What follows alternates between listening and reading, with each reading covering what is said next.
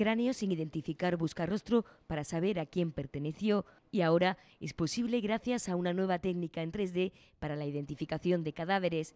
La han desarrollado en este Departamento de Medicina Legal de la Universidad de Granada, una técnica que ya ha sido utilizada por la Guardia Civil y la Policía Nacional para investigar cerca de una veintena de casos. Nos remiten normalmente, si hay posibilidades, una fotografía o varias fotografías de los individuos que de los que puede tratarse. Mientras tanto, con el escáner tridimensional escaneamos el objeto en 3D, en este caso el cráneo, Luego, ambas imágenes en tres dimensiones se superponen para detectar los puntos de coincidencia.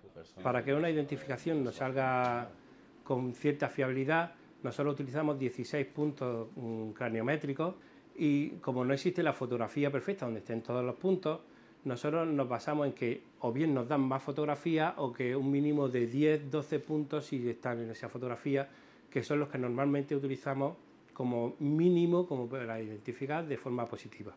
Se trata de una técnica más rápida y económica que la del ADN. Por eso, países como México, con un alto número de delitos vinculados al narcotráfico, donde hay que identificar cadáveres, ya han mostrado un gran interés. En España podría ser muy útil para poner rostro a las víctimas de la guerra civil enterradas en fosas comunes, porque precisamente el alto coste de los análisis de ADN ha sido siempre uno de los principales problemas.